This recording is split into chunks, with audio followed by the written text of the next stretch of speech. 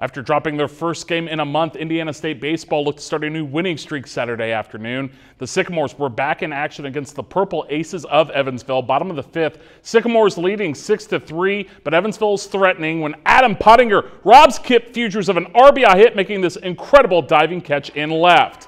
Sixth inning now. Runner on first for the Aces when Mike Sears triggers the 5-4-3 double play to end the inning and the Evansville threat. Top of the seventh now. Sears getting it done at the plate. An RBI single up the middle, scoring Randall Diaz from second as Indiana State beats Evansville 7-4. The Sycamores will look to capture their seventh straight Missouri Valley Conference series on Sunday afternoon.